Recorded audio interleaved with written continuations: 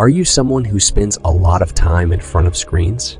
If yes, you might have experienced symptoms such as eye strain, headaches, or trouble sleeping.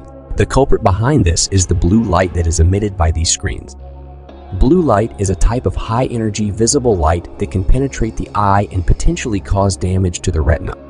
The good part is that this problem can be cured with the help of blue light glasses. Blue light glasses have lenses that filter out some of this blue light, reducing the amount that reaches your eyes.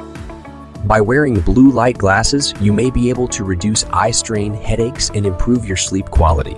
Also, glasses look aesthetically good on a person as well. These glasses are quite affordable, and this one small investment can help you save your eyes. So if you're looking to protect your eyes and improve your screen time experience, consider giving blue light glasses a try. The links are available in the description and comments.